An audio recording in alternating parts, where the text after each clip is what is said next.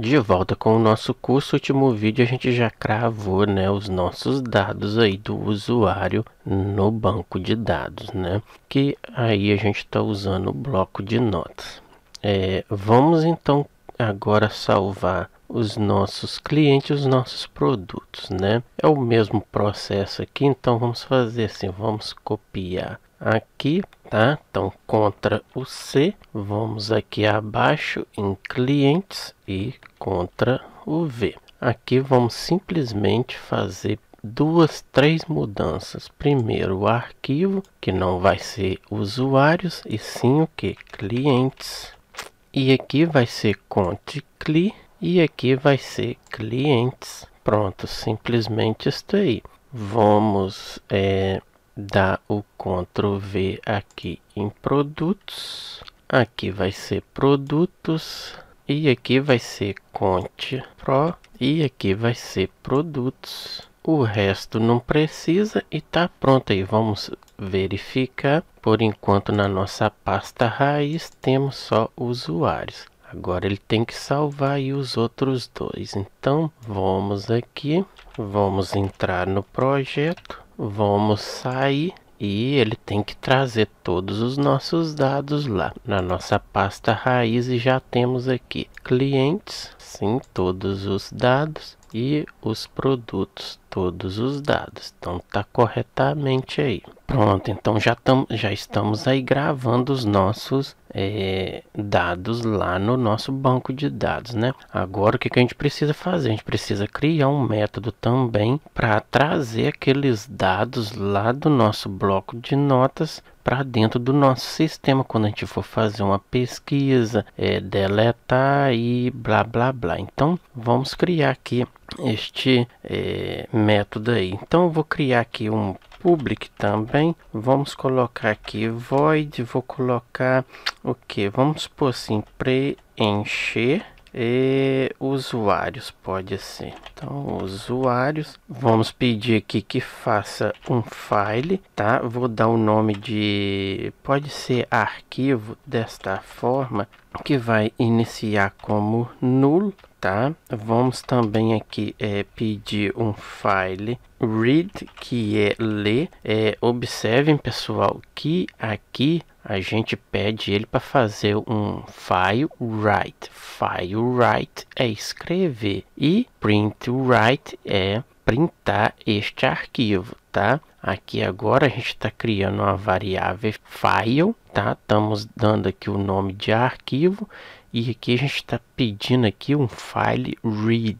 Agora nós temos que ler aqueles arquivos para trazer para dentro do nosso projeto e não é o write. Então, põe na mente aí que write é escrever e reader é ler o arquivo. Tá? Então, isso aí já ajuda bastante vocês entendendo esta parte. Então, file read, vou dar o nome de fr, vai ser igual a null, tá? Precisamos também de um buffer, que se escreve assim, tá? Buffer reader. Deixa eu ver aqui se ele trouxe aqui, isto já está aqui, precisamos dele, vou pôr o nome de BR igual a nulo também.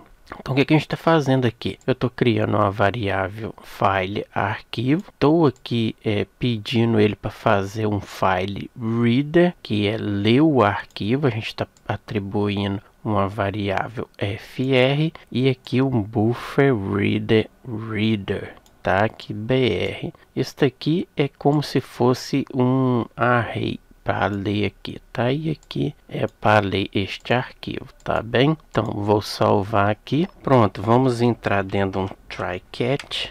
E aqui vamos dizer o seguinte, qual é a variável arquivo, não é isso? Então eu quero que meu arquivo seja um new que file e da onde a gente quer ler os nossos arquivos. A gente quer ler os nossos arquivos que está lá dentro da nossa pasta data, o que? Usuários, não é isso? Txt, não é isto, é este arquivo que eu quero ler. Pronto, agora o que? fr, o que vai ser igual a new, o que? File reader, qual é o arquivo que eu quero ler? É o arquivo aqui que eu quero ler, que é o nosso arquivo que está aqui dentro, não é isso? Então pronto, ele já puxou aí. Agora, br, qual que é o, o buffer que eu quero fazer? É igual a new, o que? Buffer reader, né? Ele vai ler o que? Qual é o, para que vocês entendam aqui, qual que é o arreio que está trazendo aqui tudo que eu quero que ele leia lá dentro do meu arquivo usuários. É a nossa FR, não é? Então é só passar aqui, FR, pronto, tá aí. Agora o que, que precisamos fazer? Lembrando que esse buffer read aqui, reader, tá cheio de informação, ele vai trazer todas as nossas informações aqui. Agora a gente tem que passar estas informações, tem que começar a separar elas por linhas, porque lá a gente tem nome do usuário, tem nome é, da senha, tem é, sobrenome, tem é, o perfil, então a gente tem que começar a distribuir essas informações e para não ficar todas juntas, né? Então o que, que a gente vai fazer?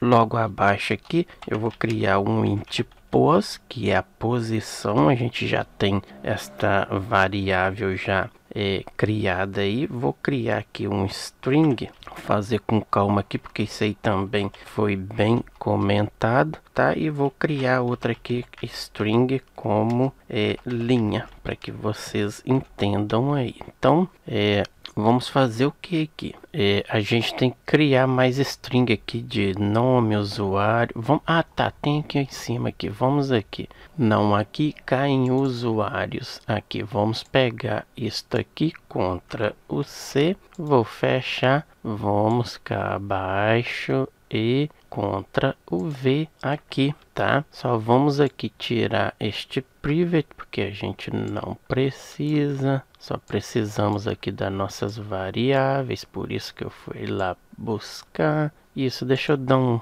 espaço aqui, isto aí, pronto, isto aí. E aqui agora a gente vai ter que entrar num loop aqui, ou seja, num while, para ele poder percorrer essas informações aqui, essas variáveis, e começar aí distribuir é, os nossos, as nossas informações em linhas, tá? Então eu vou ficando por aqui, salvo o projeto e eu volto com outro vídeo. Um abraço, tchau, tchau.